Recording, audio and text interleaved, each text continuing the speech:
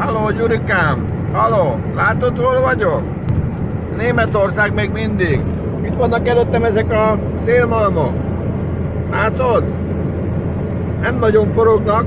Na, következő lenne a munka, azt mondták itt a német emberek, kerestek ilyen talpra esett, jó megjelenésű, de munkásruhába lévő embereket, akik eljönnének és megtekercsenék ezeket a ventilátorokat, vagy mi ez, lapátokat, meghajtanák, tudod, mert szén nem nagyon éri el őket. Túl alacsonyak. 600 forintos órabérbe. Ha? Lebeszéltem neked már mindent, már csak jönnöd kell. Te rajtad áll a döntés. Na szia!